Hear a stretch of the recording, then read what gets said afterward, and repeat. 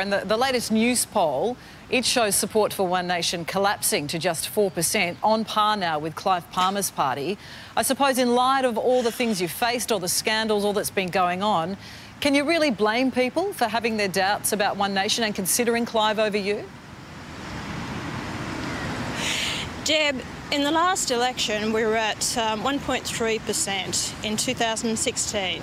The polls are indicating 4%. The, the essential poll has got us at 6.6%. I've actually gone up since the last election. Unlike your show, Deb, since you've actually taken over, you've actually gone down in your viewership. So Ooh, should you hand over your job or should we bring Karl back? Well, should we, should we bring Karl back? You know, you have a go at me about this all the time, about the polls, going down the polls. The people have their say.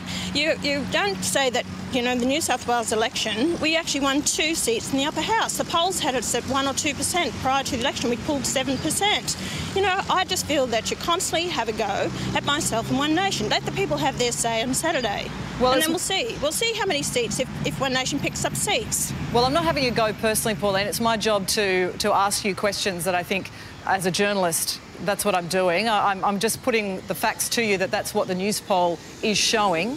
And obviously the polls have been wrong in the past, which is what is what you're indicating.